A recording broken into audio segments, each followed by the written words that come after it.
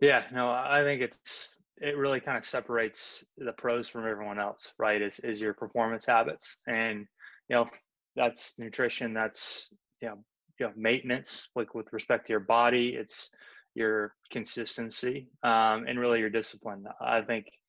you know that's probably the separation separation between you know pros and you know those who get contracts because they're athletically gifted or you know they're technically sound, whatever it might be. Uh, I mean, I think the perform uh, the true true pro is someone who owns their performance and you know from my standpoint it was you know building pack uh, a personal package and system that would allow me to you know perform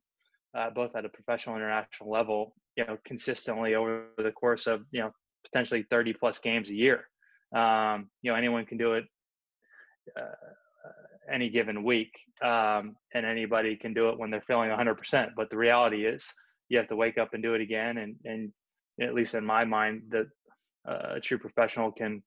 uh, perform at training and at the weekend, but they have to do certain things and make certain decisions throughout the week in order to do that. Um, and that's kind of built into your habits. And I would have a, a stretch, stretching and mobility and recovery protocol that I would go through uh,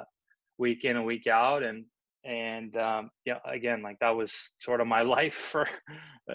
dang near a decade. So um, because that's what's required if you want to be um, at the top for any sustained period of time